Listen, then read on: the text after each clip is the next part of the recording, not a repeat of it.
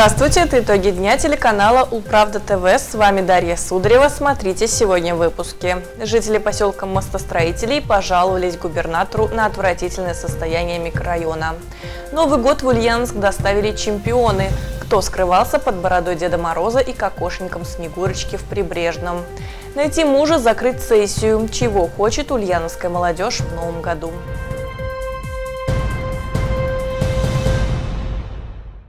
Подделка подписей и прочие нарушения. Жители поселка Мостостроителей на Нижней террасе пожаловались главе региона на отвратительное состояние целого микрорайона.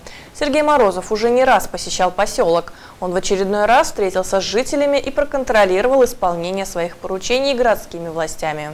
Поселок мостостроителей, некогда построенный как место временного проживания, терпит бедствие. Постоянные перебои с общественным транспортом – лишь верхушка айсберга. Сюда не заезжают школьные автобусы, а управляющие компании не исполняют своих обязательств. Решать проблемы нужно поэтапно. Сергей Морозов вновь посетил поселок, чтобы проконтролировать ход выполнения данных ранее поручений и поговорить с жителями. Если люди говорят о том, что их услуга не устраивает, э, если люди говорят о том, что э, деньги заплатили, а услугу не получили, э, то не только про эти 60 тысяч рублей там разговор-то шел. Нет, там речь шла о перерасчете. Конечно.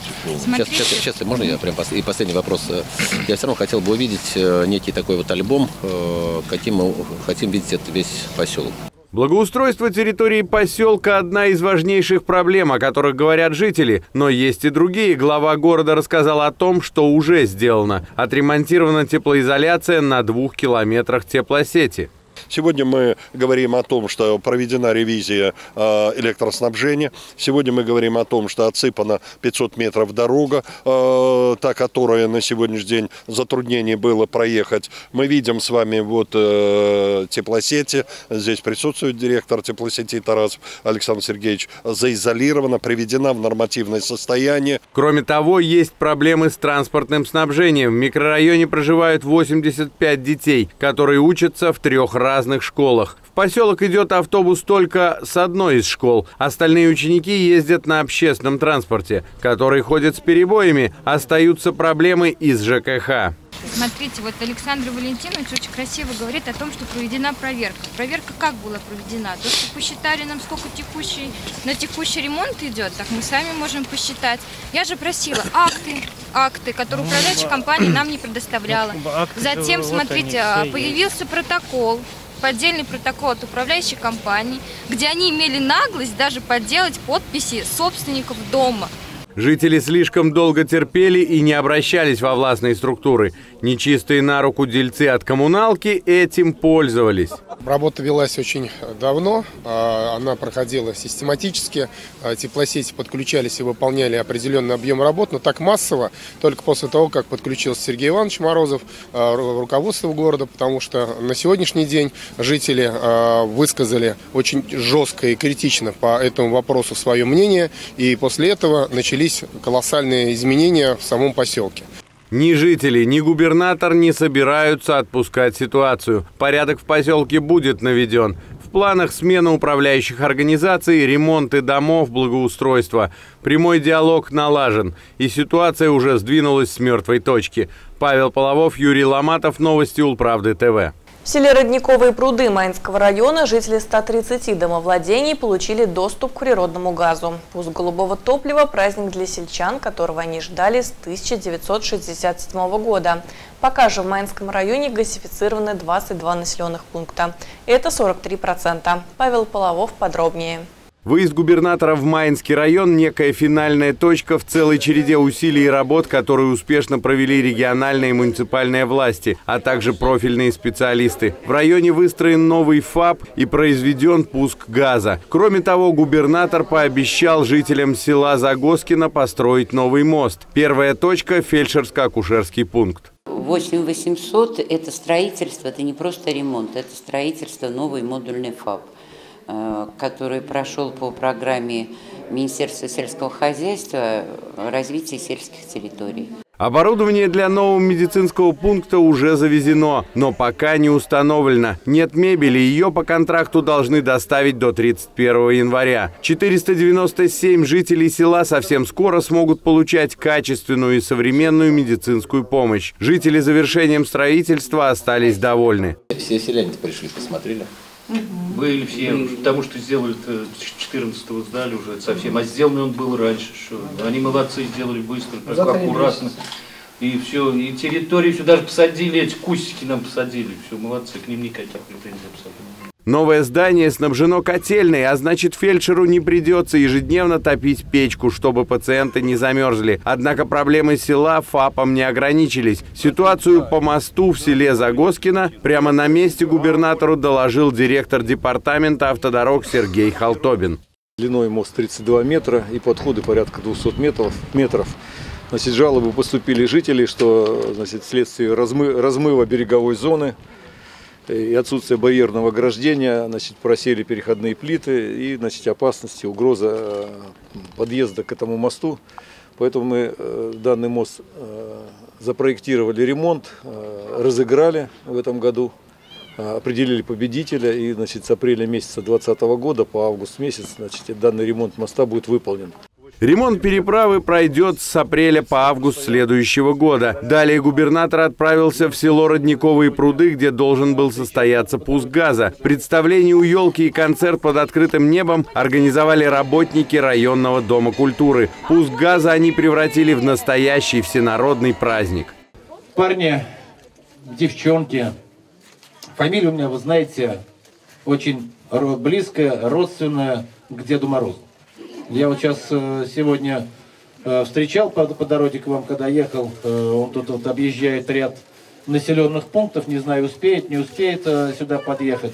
Но он по дороге мне поручил вам вручить новогодние подарки. Подарков у главы региона оказалось много, хватило всем собравшимся. Далее зажжение традиционного факела и салют. Жители домов, где голубое топливо уже появилось, очень довольны. Вот одним годом все решился, все получилось. Все нормально, слава богу. Газификация региона продолжается, в том числе по программе газификации Ульяновской области за счет специальной надбавки к тарифам на услуги по транспортировке газа. Кроме того, газификация является своеобразным двигателем для развития сельских территорий. Строительство здесь медицинских учреждений тоже способствует сохранению населения в селах. Павел Половов, Александр Кудряшов, Новости Улправды ТВ. На три часа фойе Ленинского мемориала преобразилось. Повсюду мерцали огоньки, стены и колонны были украшены яркими гирляндами. И грянул бал, традиционный губернаторский. На него пригласили 400 самых активных молодых людей Ульяновской области. Однако в этом году бал все же отличался от предыдущих. Перед тем, как надеть бальные платья и костюмы, ребята играли в «Что, где, когда», слушали электронную музыку и писали желания. Наталья Чумаченко подробнее. В Ульяновской области прошел ежегодный губернаторский бал. Сотни молодых и творческих людей собрались в Ленинском мемориале. Здесь можно было не только станцевать вальс, но также поиграть в настольные игры, послушать хорошую музыку, а самое главное – загадать новогоднее желание. Огромная доска желаний, одна из десятка интерактивных площадок, находилась на втором этаже. Ее первым оценил глава региона во время импровизированной экскурсии. Каждый участник губернаторского бала мог написать то, о чем он мечтает в новом 2020 году. На этой площадке люди пишут, что они хотят в 2020 году и события, которые их там в следующем году ожидают. Многие хотят найти себе мужа, э, кто-то написал то, что хочет развестись. Кто-то хочет сдать ЕГЭ, сессию закрыть. Также на втором и третьем этажах здания можно было послушать концерт электронной музыки. Кроме этого, участники могли стать зрителями кинопоказа, поиграть в настольные игры, нарисовать открытки. Лучшие молодые и творческие люди в этот вечер получили грамоты из рук губернатора. Пишу статьи, публикую в журналы, которые публикуются по всему миру и по всей России, в принципе. Очень много конференций посещаю. А, недавно были на международной э, конференции в Санкт-Петербурге. После осмотра действующих площадок Сергей Морозов приветствовал всех участников на главной сцене в фойе. Глава региона отметил, что молодежь – это главный двигатель прогресса и будущее нашей страны. Молодые люди сегодня должны иметь возможность участвовать в общественной жизни, повышать уровень своих знаний, достойно зарабатывать на своей малой родине, чтобы здесь же строить семью и растить детей. Для этого в Ульяновском регионе будет полностью переформатирована работа с молодежью и появится закон о защите и поддержке молодых специалистов. Такого закона нет в России. В течение пяти лет молодые специалисты будут застрахованы от потери работы, смогут получить наставников, будут включены в кадровый резерв по соответствующей группе должностей, будут иметь возможность получить возмещение проезда к месту проведения своего ежегодного отпуска, будут иметь самые комфортные условия для получения жилья и многое-многое другое. После приветственных речей и награждения молодежи начались танцы. Кавалеры в строгих костюмах и барышни в пышных платьях в такт кружились на импровизированной бальной сцене. Вальс сменялся мазуркой, фокстрот – полькой. Решили из этого маленького, такого очень э, интересного и ежегодного классического мероприятия сделать нечто большее. Потому что следующий год объявлен годом молодежи, и, соответственно, открытие в любом случае должно быть помпезное. Фейерверк веселья лишь на минуту утих, ровно в 2020. Сергей Морозов вместе с лидерами ульяновской молодежи дал старт году молодых 2020. После официальной части бал продолжился зажигательной дискотекой. Наталья Чумаченко, Александр Кудряшов. Новости Улправда ТВ. В этом году новогодний благотворительный автопробег «Караван добра» отправился в 8 районов Ульяновской области. Цель организаторов акции – оказание адресной помощи многодетным и малообеспеченным семьям, пожилым людям и детям-сиротам, проживающим в отдаленных уголках нашего региона. Два десятка машин отправились в путь по Ульяновской области с благородной миссией поздравить с наступающим Новым годом жителей самых отдаленных уголков нашего региона. Традиция отправлять караван добра продолжается несколько лет. Дети, малоимущие и нуждающиеся из восьми районов области получили подарки, отправленные ульяновскими благотворителями. Проводить караваны, отбывающие в районы, пришел глава региона Сергей Морозов. Подарков много набрали? Достаточно. Но, но, но традиционно и в детские дома в том числе? Да, конечно.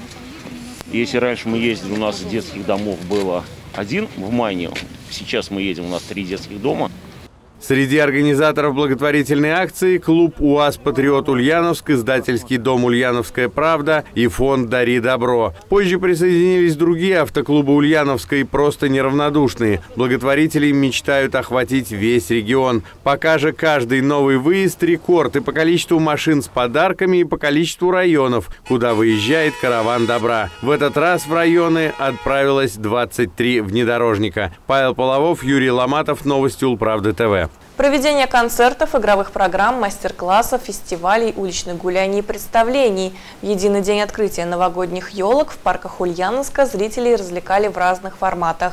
В новом городе организаторы подготовили сюрприз. Дедушка Мороз со своей внучкой прилетели к ребятне с неба. Мои коллеги расскажут подробнее.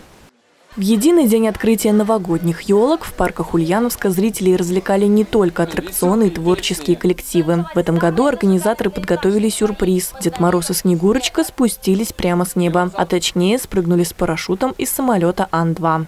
Давайте поприветствуем Дедушку Мороза из Финляндии! Новогодними персонажами оказались опытные спортсмены. Роль Дедушки Мороза взял на себя кандидат мастера спорта, инструктор парашютно-десантной подготовки Александр Евплов. После приземления мужчина отшучивается. Старался привести Новый год всем ульяновцам. За облачностью не сильно видно, но я надеюсь, наш дружный коллектив нас поддержит, и Новый год к нам придет хотя бы со снегом и вовремя.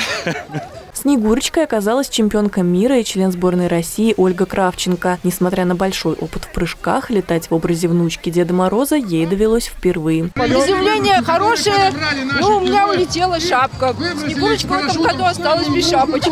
Компанию дуэту составили другие спортсмены в костюмах сказочных персонажей. А с земли за парашютистами с замиранием сердца наблюдали дети и взрослые, пришедшие на праздник. Новогоднюю программу продолжили конкурсы, зажигательная дискотека, викторина викторины. Праздничные мероприятия в городских парках рассчитаны на детей всех возрастов и будут проходить каждый день. Анна Тищенко, Новости Улправды ТВ. Воспитанники православного клуба единоборств «Пересвет» при Жадовском монастыре завоевали 11 медалей на десятерых в открытом новогоднем турнире по армейскому рукопашному бою «Новогодняя сказка». В соревновании приняли больше 100 участников из четырех клубов. Изюминкой этого турнира служит то, что в нем приняли участие самые маленькие бойцы от 5 до 13 лет. И болельщики разрешается подсказывать, кричать. Но при этом кубок высказывать вами судей и спортсменов запрещено.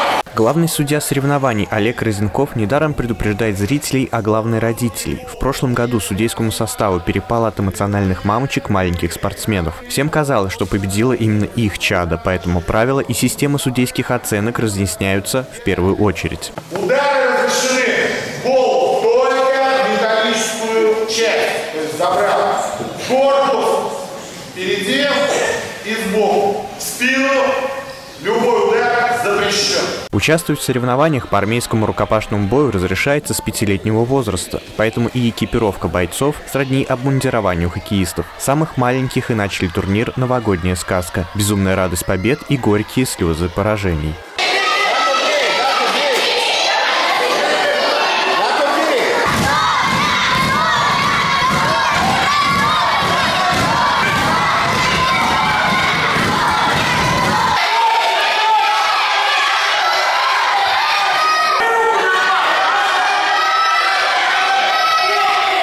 В соревновании приняли участие четыре клуба из Ульяновска, Старомайнского и Барыжского районов области. Православный клуб смешанных единоборств «Пересвет» при Жадовском монастыре делегировал на турнир десятерых своих воспитанников. Все они стали обладателями различных наград. Девятилетнему Семену Дьячкову долгое время не везло на различных турнирах, хотя, по заверению тренеров, мальчишка отличается своим трудолюбием и упорством на тренировках. На этом турнире ему повезло. Троим соперникам уроженца села Новая Бекшанка было нечего противопоставить.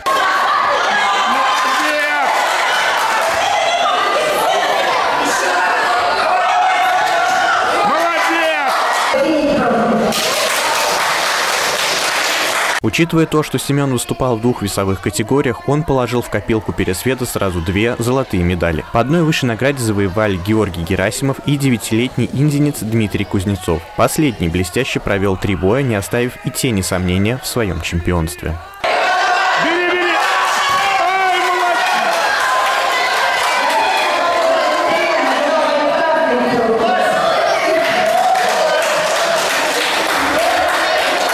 Всего же у воспитанников Пересвета 11 медалей на десятерых и третье общекомандное место. Награду вместе с медалями и грамотами все ребята получили новогодние подарки. Приближается твердой поступью Новый год. В учреждениях культуры уже открыли сезон новогодних представлений для детей. Дворец культуры «Губернаторский» в этом году подготовил мюзикл по мотивам сказки Аксакова «Аленький цветочек». В Симбирском царстве новогоднем государстве больше двух недель будет свести и радовать детей и их родителей «Аленький цветочек». Новогодний мюзикл представляет Дворец культуры «Губернаторский». Это постановка по мотивам одноименной сказки Сергея Аксакова о любви, отваге и добром сердце, об удивительных странах, превращениях и чудесах. Это будут незабываемые приключения в сказку, которую написал Аксаков и которую сыграли на сцене наши дети – а еще хочу сказать о том, что у нас мы поддерживаем династии, и у нас на сцене руководители э, наших коллективов и их дети. Поэтому мы стремимся к тому, чтобы у нас еще и было у руководителей гораздо больше детей, чтобы у нас было еще больше артистов на сцене, хотя на сегодняшний момент у нас их 140.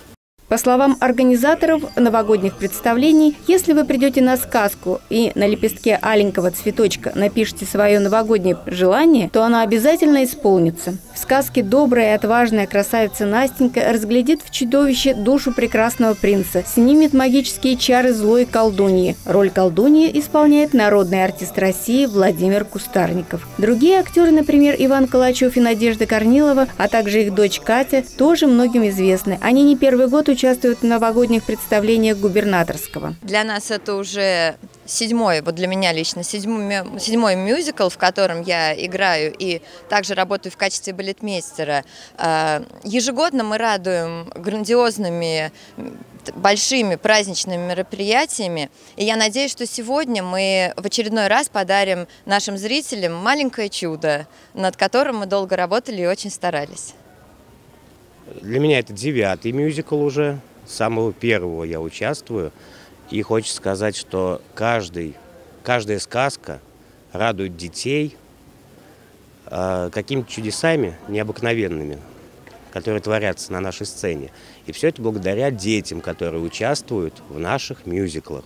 Это э, участники наших творческих коллективов Дворца, культур губернаторский.